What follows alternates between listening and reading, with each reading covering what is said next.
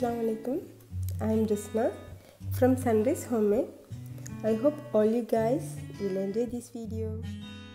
இது வரைக்கும் என்னோடய சேனலை சப்ஸ்கிரைப் பண்ணாதவங்க எல்லோரும் சப்ஸ்கிரைப் பண்ணிக்கொள்ளுங்க அப்படியே பக்கத்தில் இருக்கிற பெல் ஐக்கனையும் ப்ரெஸ் பண்ணிவிடுங்க இன்றைக்கி நம்ம மோஸ்ட் ரிக்வஸ்ட் வீடியோன்னு தான் பார்க்க போகிறோம் என்னோடய ஃபேமிலியிலேருந்து ஃப்ரெண்ட்ஸ்லேருந்து எல்லாருமே நான் யூடியூப் ஸ்டார்ட் பண்ண நாள்லேருந்தே என்கிட்ட கேட்டுகிட்டு இருக்கிற ஒரு வீடியோ தான் இது. அப்படி என்ன இதில் ஸ்பெஷல்ட்டு பார்க்குறீங்களா? வாங்க எப்படி பண்ணுறதுன்னு பார்த்துடலாம். நான் இன்றைக்கி ஜெலட்டின் புடிங் எப்படி பண்ணுறதுன்னு பார்க்க போகிறேன் தேவையான பொருட்கள் இருநூறு கிராம் மில்க் பவுடர் இருநூற்றம்பது கிராம் சுகர் முப்பது கிராம் ஜெலட்டின் பக்கெட் ரெண்டு எக் உங்களுக்கு வேண்டிய மாதிரி ஜெல்லி எடுத்துக்கொள்ளுங்க அப்புறம் தேவையான அளவு கார்னிஷுக்கு ப்ளம்ஸ் இப்போ நம்ம எப்படி பண்ணுறதுன்னு பார்த்துடலாம். ஒரு பவுலில் முப்பது கிராம் ஜெலட்டினை ஆட் பண்ணிக்கொள்ளுங்க அப்புறமா முந்நூறு மில்லி லிட்டர் வாட்டரை நல்லா பாயில் பண்ணிவிட்டு அதையும் ஆட் பண்ணுங்கள் அப்புறமா நல்லா லங்ஸ் இல்லாத மாதிரி ஃபுல்லாக கரைச்சி எடுத்துடுங்க. ஜெலட்டினுக்கு இந்த மெஷர்மெண்ட்லேயே நீங்கள் வாட்டர் ஆட் பண்ணி கரைச்சிக்கொள்ளுங்க வாட்டர் கூடினுச்சுன்னு சொன்னாலும் இந்த புடிங் செட் ஆகாது. குறைஞ்சிச்சின்னு சொன்னாலும் இந்த புடிங் செட் ஆகாது. ஸோ இதில் கவனமாக இருங்க. இது மாதிரி நூறு கிராம் ஜெல்லியை ஐநூறு மில்லி பாய்லிங் வாட்டரில் கரைச்சி எடுத்துக்கொள்ளுங்க.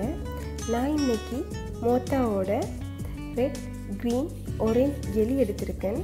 உங்களுக்கு வேண்டுமான கலரை நீங்கள் எடுத்துக்கொள்ளலாம். இப்போ நம்ம சுகர் ஸ்ரப் ரெடி பண்ணிடலாம். அதுக்கு நீங்கள் ஒரு பேனில் சுகரும் ரைஸ் குக்கர் கப்பால் அரை கப் தண்ணியும் நல்லா மிக்ஸ் பண்ணிக்கொள்ளுங்க. அப்புறமா தான் ஸ்டவ்வை ஆன் பண்ணி சுகர் ஸ்ரப் செய்ய ஸ்டார்ட் பண்ணுங்கள் சுகர் நல்லா வாட்டரோட மெல்ட் ஆனதும் டூ மினிட்ஸ் மாதிரியே நல்லா இந்த மாதிரி பபிள்ஸ் வரும். அப்புறமா ஒரு ஸ்பூனால் நல்லா மிக்ஸ் பண்ணிக்கிட்டே இருங்க. நமக்கு இன்றைக்கி சுகர் சிரப் வந்துட்டு ஒரு கம்பி பதம். அதில் தான் சுகர் சிரப் தேவை. ஸோ நீங்கள் அடிக்கடி இந்த மாதிரி சுகர் சிரப் எடுத்து டெஸ்ட் பண்ணி பார்த்துக்கிட்டே இருங்க. ஹாப்பினஸுக்கு சொல்கிறேன் கம்பி பதம் எப்படி செக் பண்ணுறேன்னு சொல்லி ஸ்பூனில் இருக்கிற சுகர் சிரப் எடுத்து ரெண்டு விரல்லையும் வச்சு பார்த்தீங்கன்னு சொன்னால் அது கம்பி மாதிரி நீள்பட்டு வரணும். அப்போ தான் அந்த பருவம் சரின்னு அர்த்தம். இன்றைக்கி இப்போது சுகர் சிரப் ரெடி ஆகிட்டு வாங்க இப்போ பார்க்கலாம். எப்படி டேஸ்ட் பண்ணி காட்டுறேன்னு சொல்லி.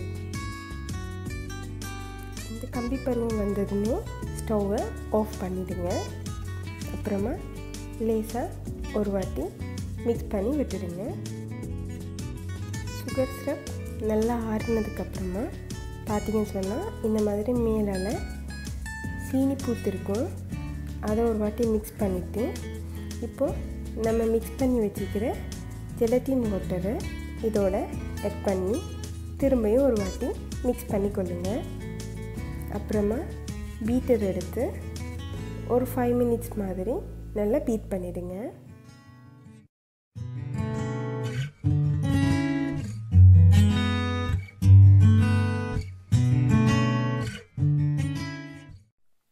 ஃபைவ் மினிட்ஸுக்கு அப்புறமா நம்ம எடுத்து வச்சுக்கிற மில்க் பவுடரை இந்த சிரப்போடு ஆட் பண்ணி ஒரு வாட்டி பீட் பண்ணி கொள்ளுங்கள் லங்ஸ் எதுவும் இல்லாத மாதிரி நல்லா சாஃப்டாக பீட் பண்ணி பீட் பண்ணி கொள்ளுங்கள்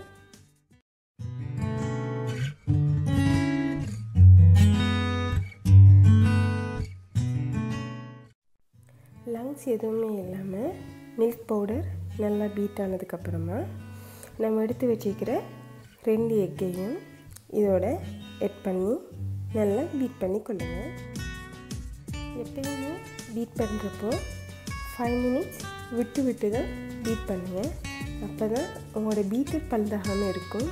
இல்லைன்னு சொன்னால் ஃபாஸ்ட்டாக பல்தாகிடும். நான் காட்டின இந்த ஆர்டரில் தான் பீட் பண்ணுங்கள் மாற்றி பீட் பண்ணிடாதீங்க.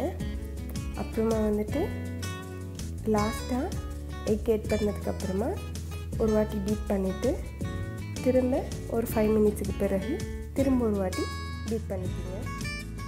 இப்போ நம்ம இதை ஒரு பவுலுக்கு ட்ரான்ஸ்ஃபர் பண்ணிடலாம். இப்போ பார்த்தீங்கன்னா இது இந்த மாதிரி ரொம்ப திக்னஸும் இல்லாமல் லூஸும் இல்லாமல் இந்த மாதிரி இருக்கும். இப்போ நம்ம இதில் கேக் எசன்ஸ் இல்லைன்னா வெனிலா எசன்ஸ் ஒரு டீஸ்பூன் எடுத்து எட் பண்ணிக்கொள்ளுங்கள் இப்போ நம்மளோட ஜெலட்டின் புடிங்க்கு மிக்சர் ரெடி ஆகிட்டு நீங்கள் இந்த டைமில் லேயராக செய்யணும் அப்படின்னு சொன்னால் இதை எத்தனை லேயருக்கு நீங்கள் செய்ய போகிறீங்களோ அத்தனை லேயருக்கு பவுலில் சேஞ்ச் பண்ணிவிட்டு கலரிங் எட் பண்ணியும் செய்யலாம். பட் நான் இன்றைக்கி கலரிங் எட் பண்ணாமல் ஜெலி எட் பண்ணி செய்ய போகிறேன் அதனாடிக்கு நான் இன்றைக்கி தனி பிளேன்லேயே செய்ய போகிறேன் இப்போது நம்ம செட் பண்ணி வச்சுருந்த ஜெல்லி எடுத்து இந்த மாதிரி க்யூப் ஷேப்பில் கட் பண்ணி எடுத்துக்கொள்ளுங்க. அப்புறமா இந்த மிக்சரில் அது எல்லாத்தையும் எட் பண்ணி ஒரு வாட்டி நல்லா கலந்து விட்டுடுங்க. இது பார்க்க மட்டும் இல்லைங்க டேஸ்ட்டும் அப்படி ஒரு எம்மியாக இருக்கும். ட்ரை பண்ணி பாருங்கள் சின்னாக்கள்லேருந்து பெரியவங்க வர மந்த்லி ஒரு வாட்டி சரி உங்ககிட்ட செய்து கேட்பாங்க. இப்போ இந்த புடி மிக்சரை நம்ம ஃப்ரிட்ஜில் செட் பண்ணிடலாம். ஃப்ரீ ஃப்ரீசரில் வச்சிடாதீங்க. நார்மல்லையே ஒரு ஃபைவ் மினிட்ஸுக்கு வைங்க. இப்போது ஃபைவ் மினிட்ஸ் ஆகிடுச்சு நம்ம பிடிங்க பார்த்துடலாம் இந்த மாதிரி லேஸாக செட் ஆகின மாதிரி இருக்கும். அந்த டைமில் எடுத்து நான் கார்னிஷுக்கு ப்ளம்ஸ் போட்டுக்கொள்கிறேன் நீங்கள் உங்களுக்கு வேணும்னு சொன்னால் நட்ஸ் ஃப்ரூட்டி டூட்டி எது வேணாலும் யூஸ் பண்ணிக்கொள்ளலாம். இல்லை அப்படி எதுவுமே எனக்கு தேவையில்லை அப்படின்னு சொன்னால் இந்த மாதிரி நார்மலாகவே அப்படியே விட்டுறலாம்.